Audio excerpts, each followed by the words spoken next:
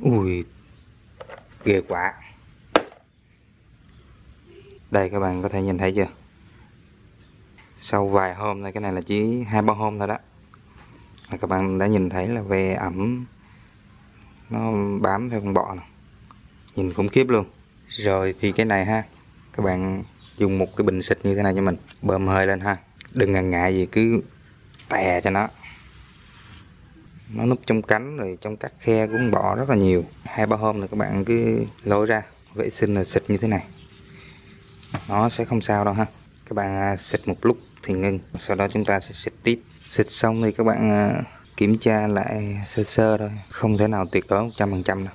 Cái con à, Atlas này, màu nó ánh ánh nâu nâu, rất là hay. Sau đó các bạn cách ly con bọ với cái chuồng ha.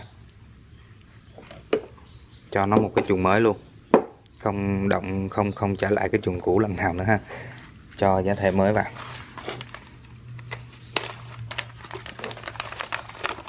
Cái này mình dùng uh, mùn bào gỗ. Đấy. xịt ẩm vô ha.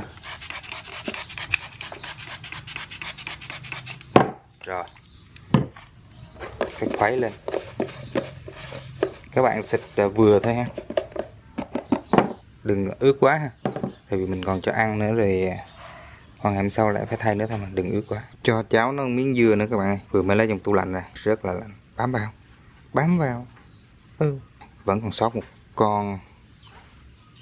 Đó, trắng trắng đang bò. Kể nó thôi các bạn, không việc gì đâu mà. Rồi.